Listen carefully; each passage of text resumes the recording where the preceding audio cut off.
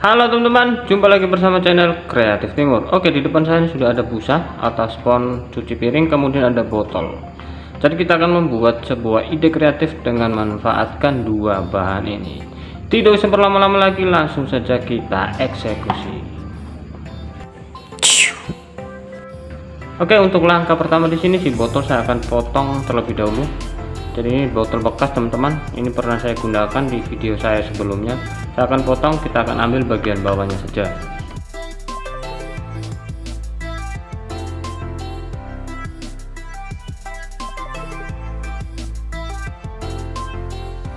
Oke kemudian si busa ini saya juga potong sedikit jadi ukurannya tingginya sesuaikan dengan si botol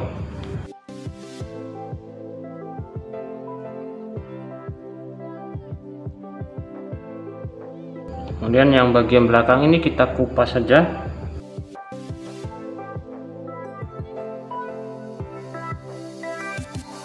Oke kemudian untuk bagian sini saya akan beri lubang sedikit teman-teman. Jadi kita akan melubangi dengan cutter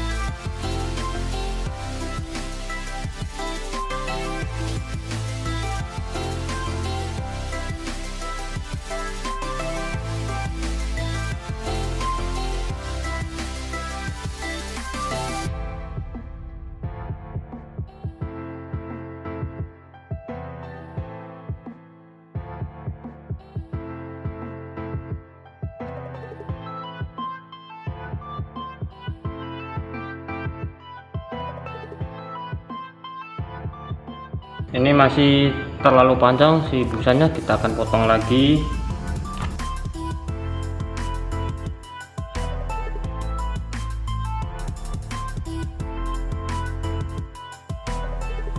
Oke kemudian di sini kalian sediakan atau saya sediakan ada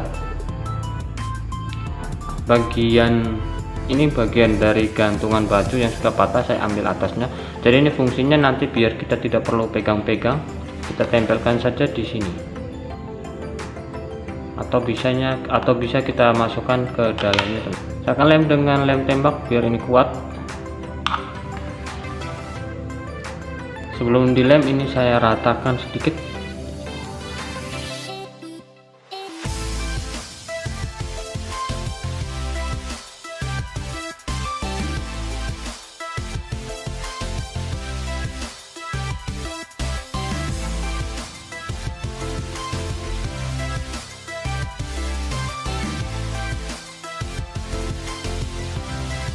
Oke untuk langkah berikutnya si busa atau spon ini saya akan tambahkan cairan.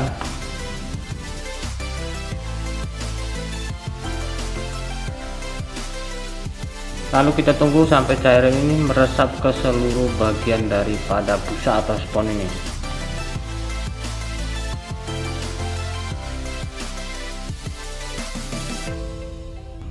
bisa dilihat ini busa atau spon ini sudah basah semua. Mantap sekali teman-teman. Jadi seperti di thumbnail yang saya buat uh, tidak perlu menunggu istri kalian karena ini kita bisa buat sendiri dengan menggunakan busa dan botol bekas. Teman-teman pasti sudah penasaran alat yang kita buat ini untuk apa? Langsung saja kita aplikasikan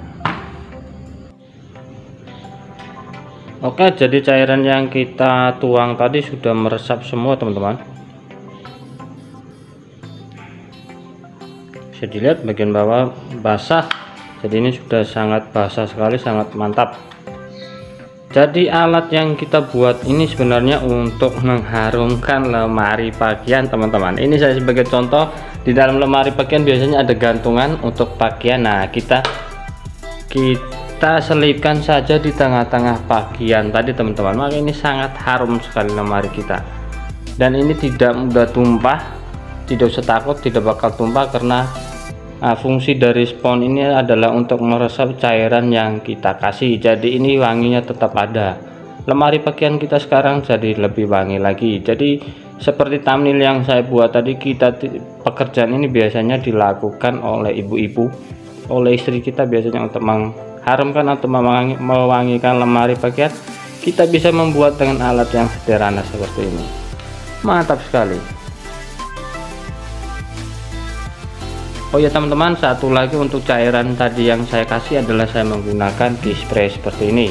Spray untuk setrika jadi ini cocok sekali untuk di bagian kita ya teman-teman